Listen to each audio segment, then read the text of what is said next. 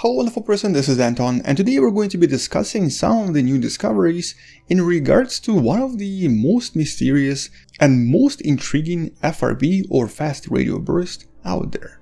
The FRB with the long name you can see right here. And more specifically, we're going to be discussing one of the more recent papers about this FRB, along with some of the recent discoveries helping us figure out what exactly it is, what causes this unusual phenomenon, but more importantly, figuring out what it probably isn't.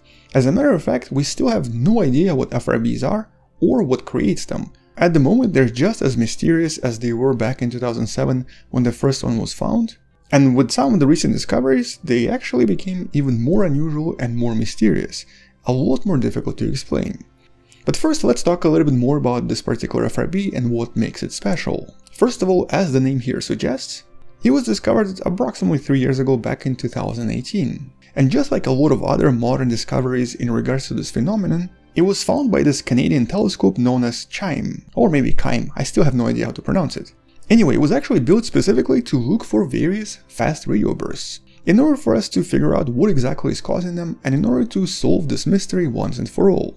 CHIME in this case means Canadian Hydrogen Intensity Mapping Experiment. And this particular observatory has been extremely productive in discovering a lot of new things about FRBs, including solving some of the mysteries. This is exactly how we learned that one of the more recent FRBs actually came from within our galaxy, from the Milky Way galaxy, and was caused by a tremendous eruption on a neutron star, or more specifically on a magnetar.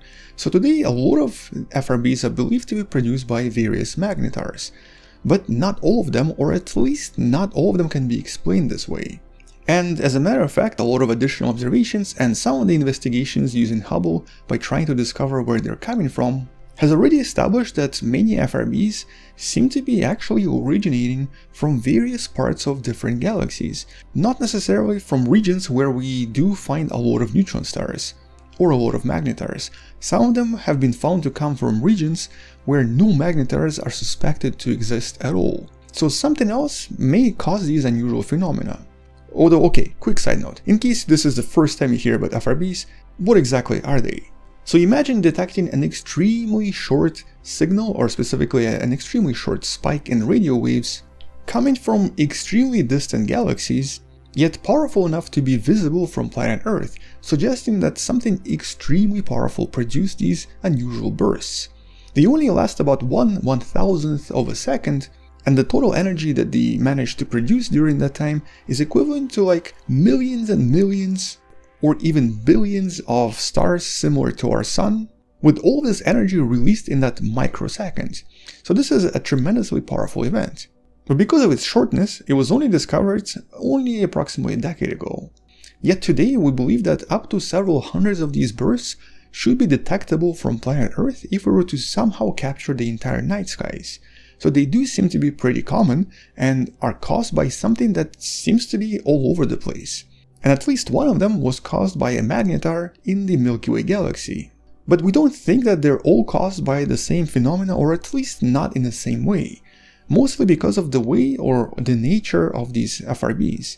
It looks like some of them only happened once and have not been detected since, but some of them are randomly repeated here and there. The repeated FRBs seem to be a lot less common, but they definitely exist and have already been identified by several different observatories.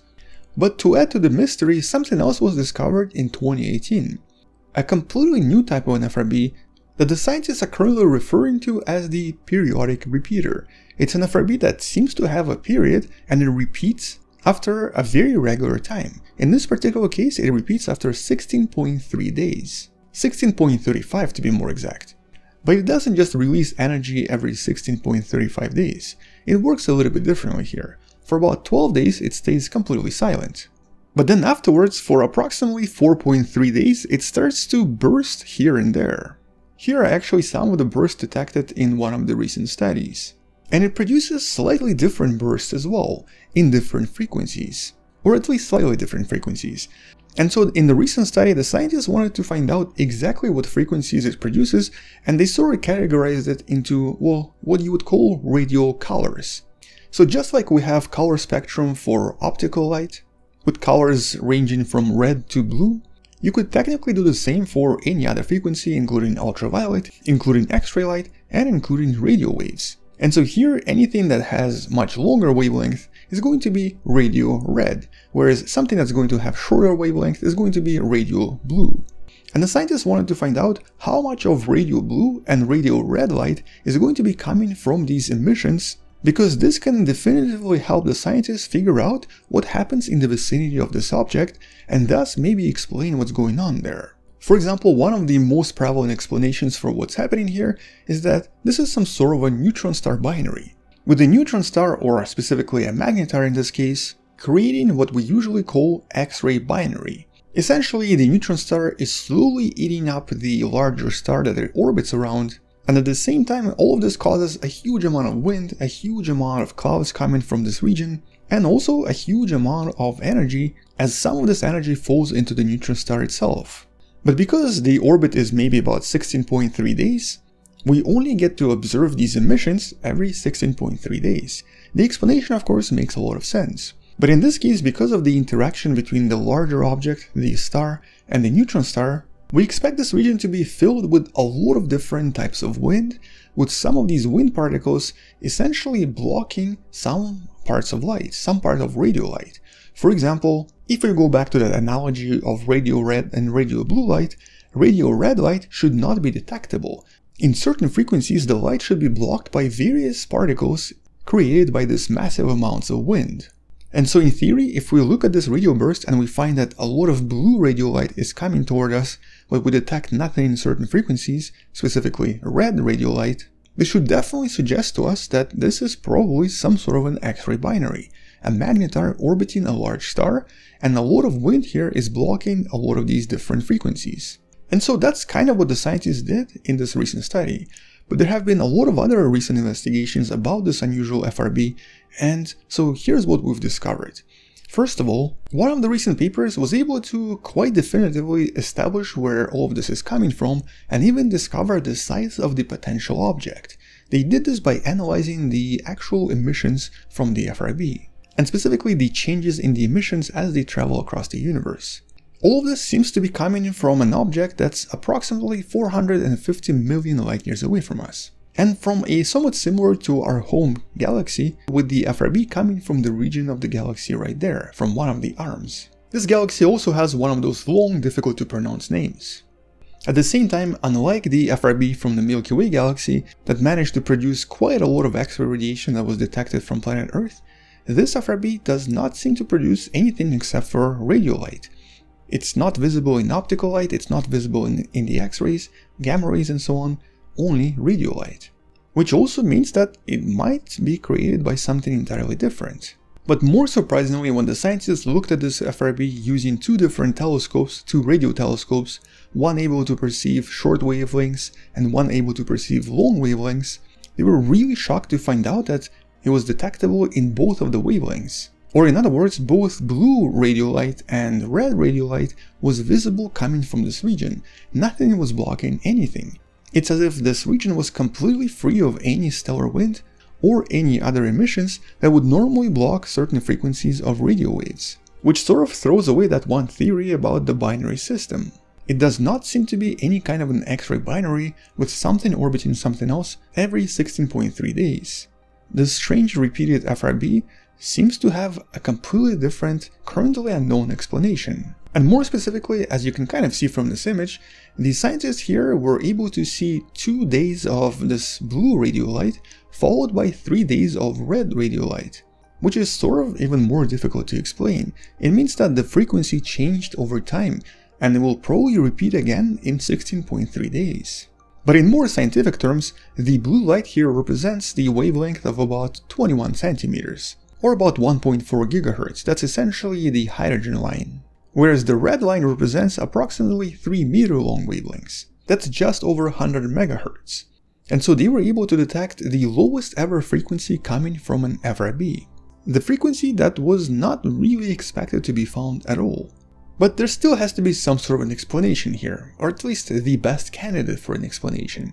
And there is one. At the moment, it still involves magnetars, and in this case, a magnetar that either wobbles every 16.3 days or just spins extremely slowly. So it could be uh, just a really unusual slow spinning magnetar. which by the way was originally proposed back in the days as well as one of the potential explanations, but not the most likely one. And so if it is a magnetar that's slowly spinning, there are going to be a lot of new questions about why it's spinning so slow, and what exactly is causing it to have these unusual emissions for approximately 4 days with 12 days of silence. Although a more likely explanation is the one we just don't have yet. It's quite possible that whatever is happening here has just not been explained or even thought about yet. It could be something that's just a little bit too complex for us to currently understand. So maybe even some sort of an exotic, unusual object that we've never seen before. But intriguingly enough, one of the most famous repeated FRBs, the FRB known as 121102, not so long ago has also been confirmed to be very likely a periodic repeater. It seems to have its own pattern. It seems to create radio bursts for approximately 90 days with very random bursts, and then stay quiet for about 67 days, with a total cycle being about 157 days, or roughly around 10 times as long as the one discussed in this paper. So if we have two of these unusual phenomena, we're probably going to get much closer to trying to figure out what's happening here. And it's probably only a matter of time before someone finally is able to explain what's going on here. But interestingly, when the scientists analyzed the total size of this object, when they actually were able to use the frequencies emitted to try to figure out what sort of an object could potentially create these effects, they discovered that the total size possible is only about 1 kilometer, which is hypothetically even smaller than the smallest neutron star we've ever found. So for all we know, it could potentially be some sort of an exotic object nobody has ever thought about before. Or maybe someone thought about but never connected it to a potential fast radio burst. And with so many different astronomical mysteries to solve, it's definitely a pretty exciting time to study these sciences. And so I'm sure in the next few years we'll have so much more to talk about as the scientists discover more and more about these unusual phenomena.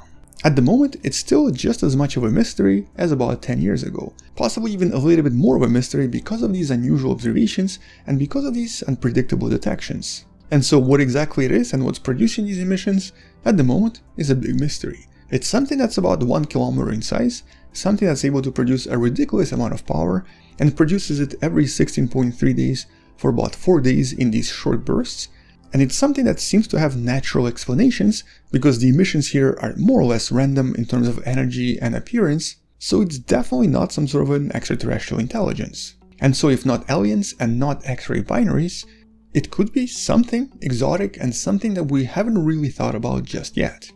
So once we find out, I'll make sure to follow this up in another video. Until then, thank you for watching, check out all of the relevant links in the description below, subscribe if you still haven't, share this with someone who loves learning about space and sciences, and maybe come back tomorrow to learn something else. Maybe support this channel on Patreon by joining the channel membership, or by buying the Wonderful Person t-shirt you can find in the description. Stay wonderful, I'll see you tomorrow, and as always, bye bye.